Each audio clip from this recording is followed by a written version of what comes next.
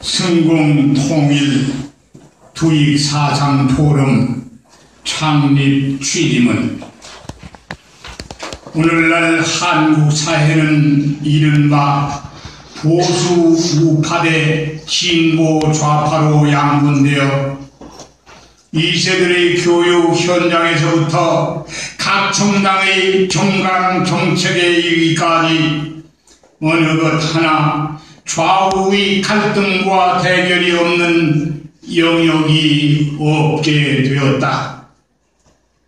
이런 사상 이념적 혼란과 갈등은 남북 분단 상황에 놓여 있는 대한민국에게는 가장 심각한 위험 요인이 되고 있다. 이에 우리는 무신론과 변증법적 유물론을 기저로 하는 공산주의를 사상 이념적으로 극복해내고 평화 통일의 길을 모색하기 위하여 성공 사상과 통일 사상을 학습하고 일반인들에게는 널리 보급하여 사상과 이념상의 남남 갈등을 해소하는 일에 주력하고자 본 포럼을 창립한다. 오늘날 공산주의는 체제적으로는 종언을 고하였지만 철학과 사상 면에서는 아직도 건재하고 오히려 더욱 다양하게 변형되고 있다.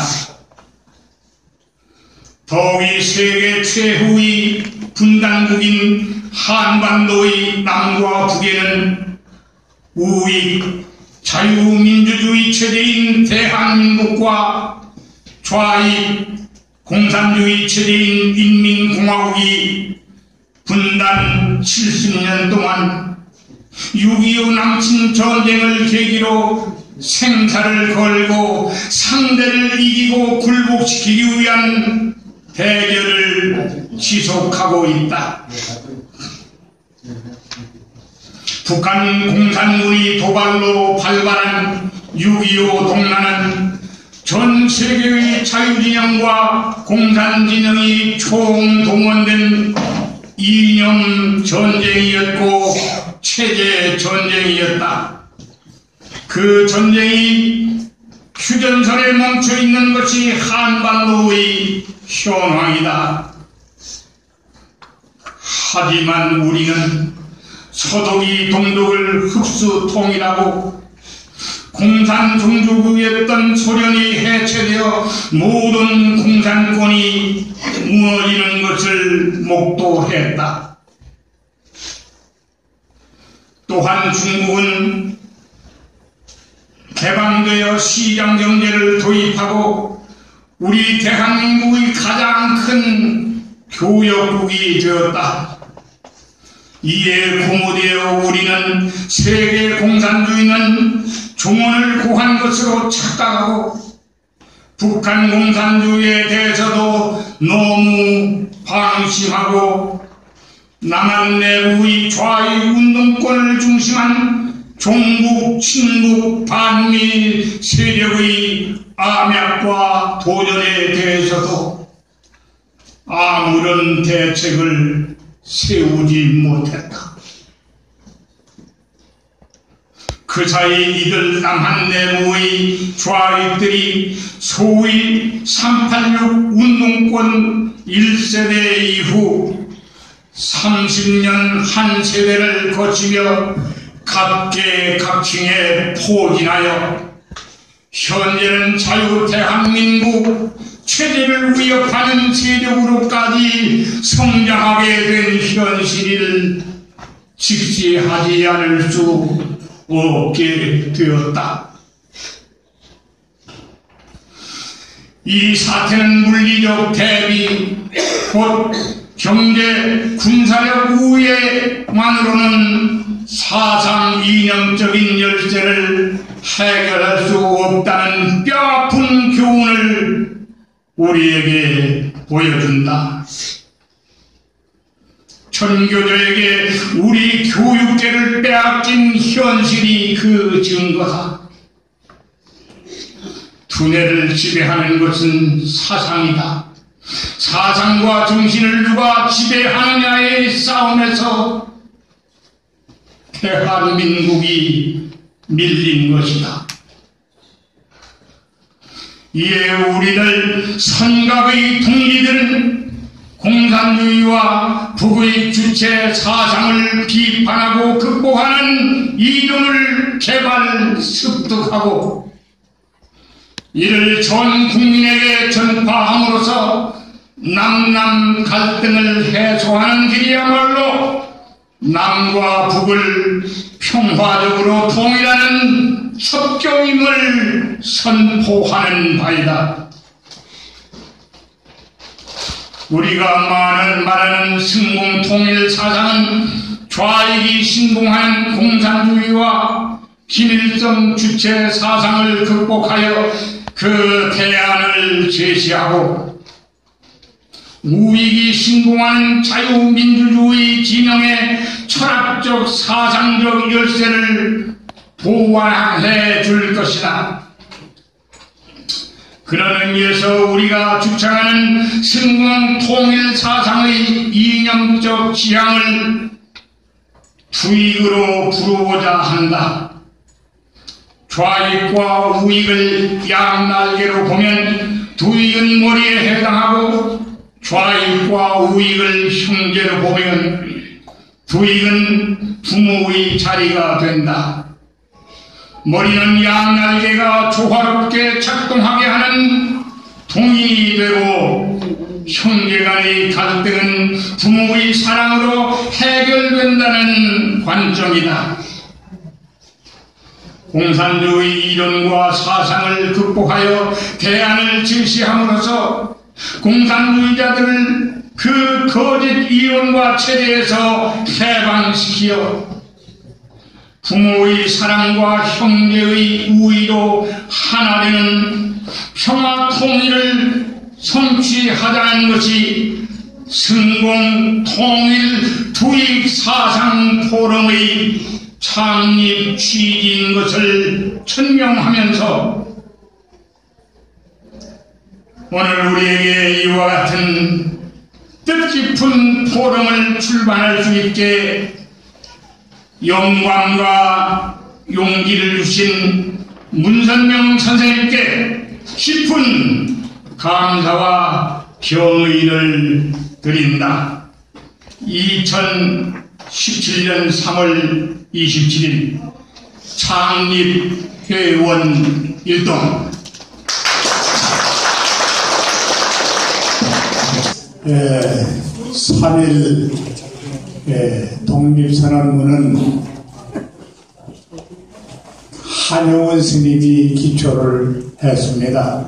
제가 아까 낭송을 했지만 낭송한 게 중요한 게 아니고 그 명문을 누가 작성했느냐 이 역사에 남아질 건데 우리 손대호 회장님께서 안 자고 고심해가지고 참 아버님의 가장 그 지근에서 명문장을 많이 써가지고 크게 보필했던 손 박사님이 쓰신 겁니다. 다시 한번 박수를 부탁드리겠습니다.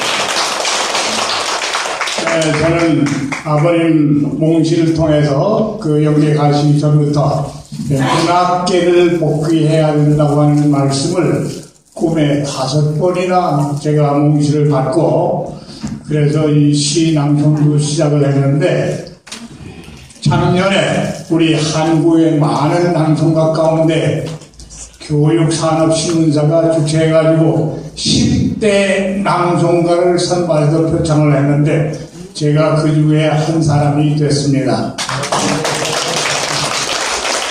제가 지금 낭송하려고 하는 시인은 국회에서 하려고 하는 게 아니고 국회에서 4월 6일 날 국회 헌정기념관에서 제가 주최를 해가지고 대한민국 세봉맞이 시낭송 예술제를 합니다.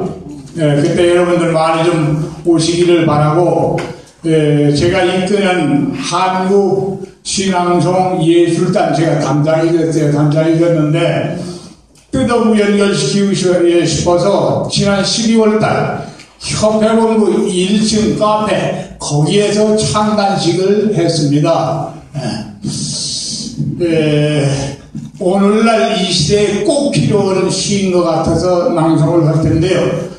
어, 저는 이 태극기 집회에 나가면서 처음부터 전 우리가 앞장서서 해야 되는데 남들이 주최하는데 박사모 어, 또 탐이고 이 사람들이 하는 것을 뒤 따라가 다니면서 이건 엑스트라로 내가 이거 할 거 아닌데 아버지 계시면 가장 앞장서서 하라고 하신 일인데 이렇게 안타깝게 생각하다가 많은 우리 식구들 만났습니다.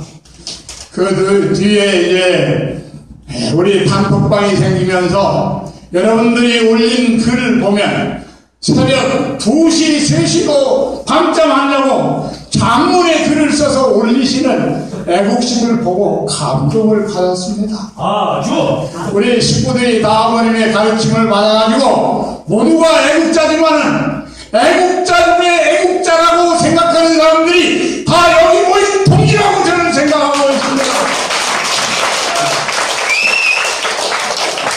한 번대로 이야기하면 길을 같아서 신앙적으로 들어가겠습니다.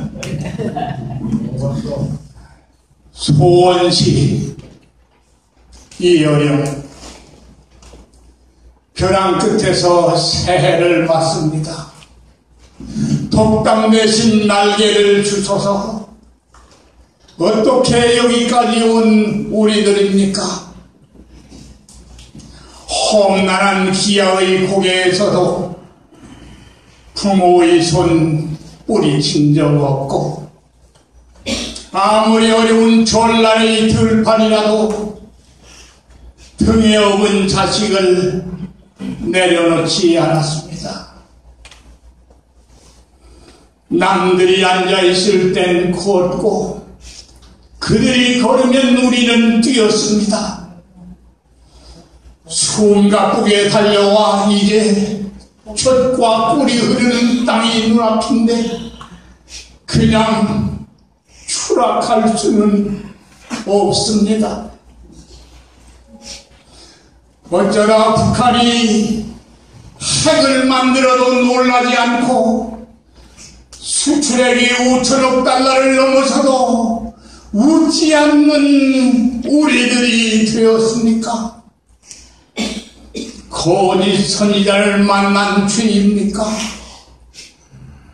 남의 눈치보다 길을 잘못 든 탓입니까? 정치의 기둥이 조금만 더 기울어져도 시장 경제의 지붕에 구멍 하나만 더 나도 법과 안보의 울타리보다 겁없는 자들의 키가 한치만 더 높아져도 그때는 천인단의 나락입니다. 비상은 비상이기도 합니다.